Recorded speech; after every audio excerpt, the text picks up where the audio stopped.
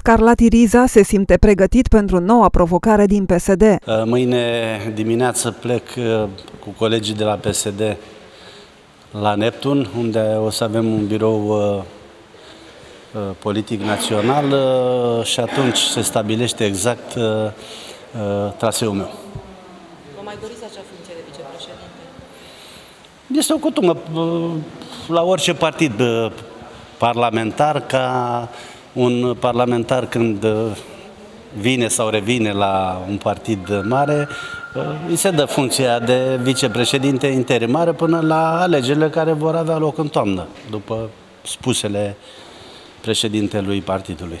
Totodată, politicianul dezvăluie și motivul pentru care a făcut acest pas. Am rebegit uh, doi ani jumate pe la două partide în care am făcut organizații în tot județul și chiar cunosc acest județ, cunosc problemele oamenilor și vă spun în premieră de ce am decis ca să vin înapoi acasă.